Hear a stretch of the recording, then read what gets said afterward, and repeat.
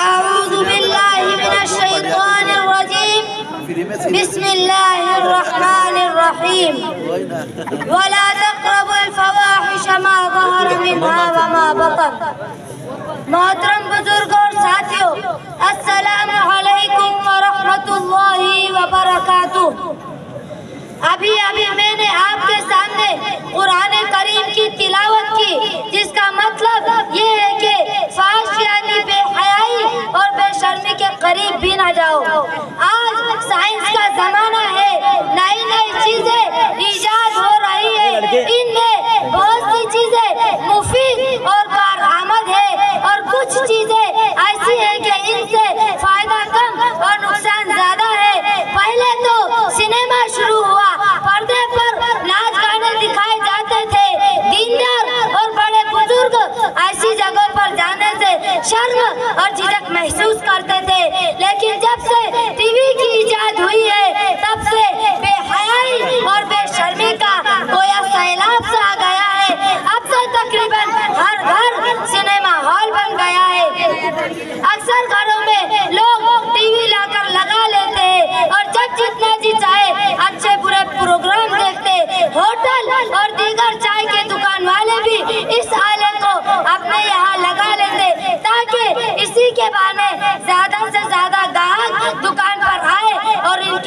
दुकानदारी बढ़ जाए।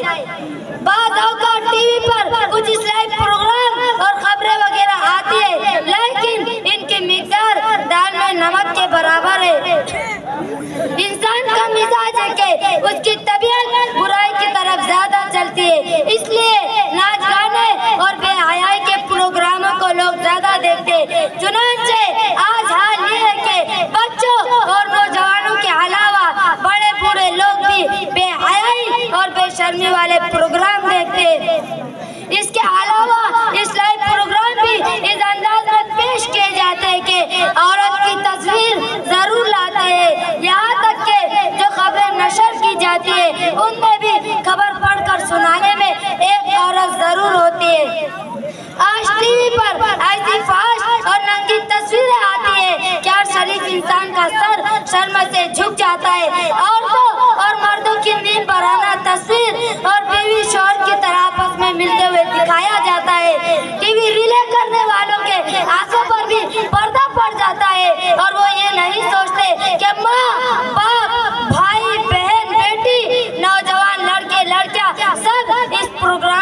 देख रहे होंगे।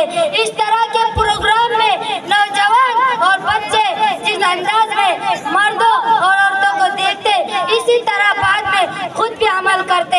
यही वजह है कि आज मुआशरे में नंगापन बढ़ता जा रहा है। नौजवान जिनसी आवारगी के शिकार हो रहे हैं, लोग अपना ज़्यादा से ज़्यादा फारिग वक्त लाइफ में गुजार रहे हैं।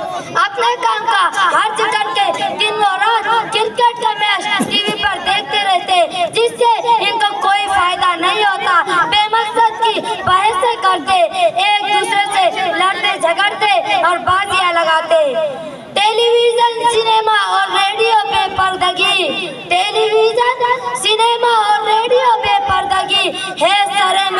शरीफ इतने शर्मिंदगी।